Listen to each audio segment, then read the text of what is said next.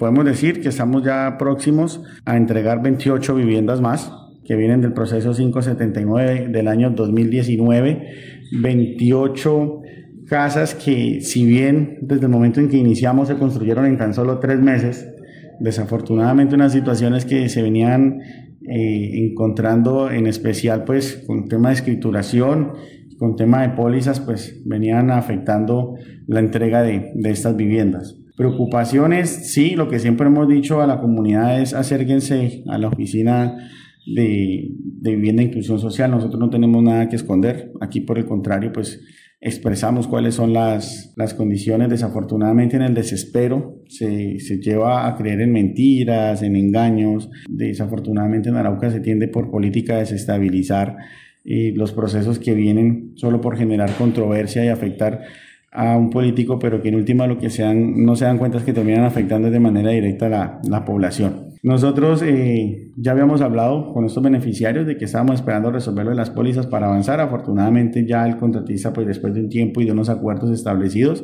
ha cumplido el 100% entonces de todas las pólizas. Así entonces, a la espera de que eh, se lleven unas adecuaciones, pues por el tiempo que están, estuvo estas obras pues sin intervenir, pues ya se habían terminado entonces, con el equipo técnico de la administración estamos haciendo la revisión pertinente para dar la garantía plena de que cuando se entreguen las viviendas, pues estén en las condiciones que se requieren o que en su efecto, a medida que avance el tiempo, pues haya un respaldo eh, si encuentran alguna dificultad en sus viviendas. Entonces, eh, diríamos que ya con esas son 28 viviendas más para los araucanos. Nos queda solo un proceso por desenredar, que en eso seguimos trabajando desde la administración municipal y con toda la, la, intención siempre de escuchar a la comunidad. Sí queremos pedir desde esta oficina de inclusión social es que cualquier duda, cualquier inquietud, por favor, consulten directamente desde la fuente para poder dar una información más oportuna. No estamos en ese momento otorgando vivienda, hay que ser claros en eso. Se están terminando de cumplirle a las personas que venían esperando desde hace mucho tiempo. Cuando hablo de otorgar es de las casas que ya están construidas.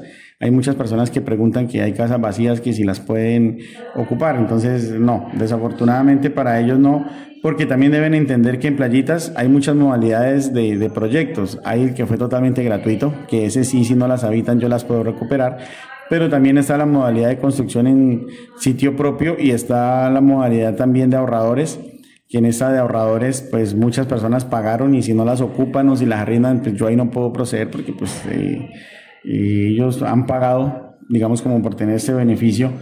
Entonces, en esa sí no, no, no puedo proceder y de pronto son de las que se están dando cuenta que en este momento están vacías. Manifestar también que ya hubo el cierre también para los mejoramientos de vivienda.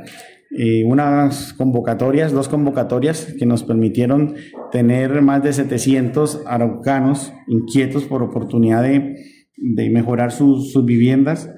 Tenemos en esta disposición 210 mejoramientos que están a, a, considerarse en esas dos convocatorias. Muchas personas no traían los documentos, eso ya lo había manifestado anteriormente, entonces pues expresaremos en las resoluciones de pronto si ven que no cumplieron pues la intención de nosotros es que vayan actualizando sus carpetas. No quiero ese tema de estar comprando carpetas cada rato, que yo sé lo que cuesta para más para la población vulnerable, que cada vez que haya convocatoria se acerque y mire entonces cuál es la actualización que tienen que hacer de su carpeta para que en un futuro puedan beneficiarse. Es complejo porque pues no hay para tantos. Aquí entramos a estudiar las condiciones de vulnerabilidad, ¿sí? De legalidad. Entonces, eh, sí tenemos una satisfacción muy grande porque pensábamos que íbamos a dar solo 30 este año. Ya llevamos asignados